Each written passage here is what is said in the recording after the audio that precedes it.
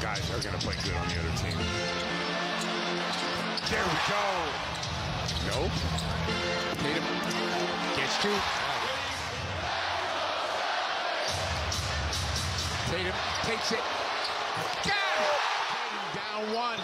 Pushes off. Passes to Horford. Corner. Yeah!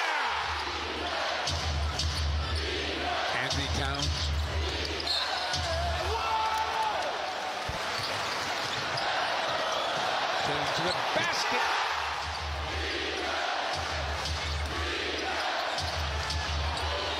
Oh, man.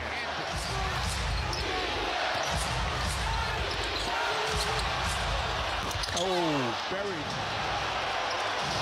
Oh, yeah. Foul! To the basket. He gets two.